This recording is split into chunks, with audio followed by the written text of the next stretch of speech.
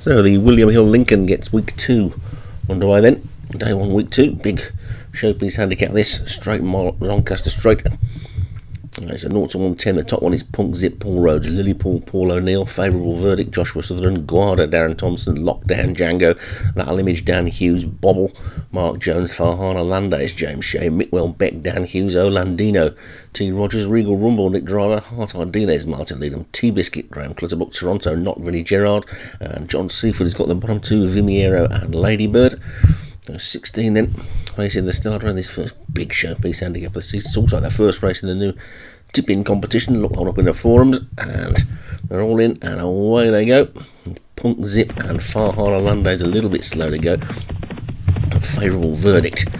Maybe the early leader Bobble's also up there early on, so too is Far Harder Landays now, but Ladybird in the yellow has burst through now to take the lead. So the centre of the track then it's Ladybird in the yellow jacket that's in the lead.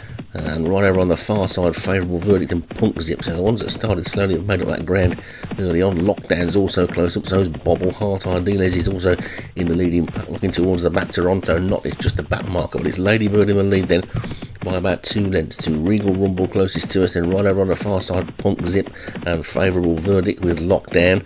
Far Harder Land Daisies back over on this side with Heart Ardiles.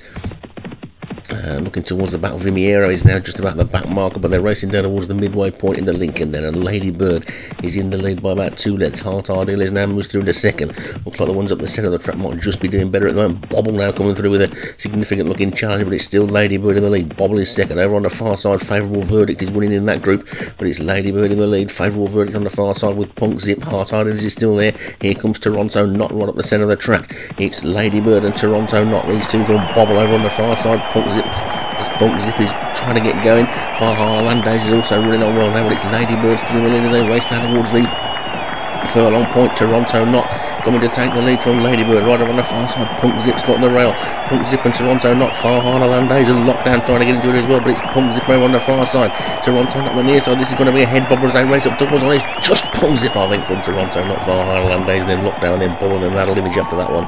And the long time leader, Ladybird, ended up last but gave the trainer a thrill for a good six or seven furlongs. And Punk Zip has taken the first big handicap of the season for Paul Rhodes. I think Punk Zip, yep, Paul Rhodes top weight takes it. Toronto not for Vinnie Gerard getting tons of weight in second. Couldn't quite get up, but was unlucky. Missed the break that one. Farhana Landays was third for James Shea. Lockdown for Django was fourth, and Bobble for Mark Jones was fifth.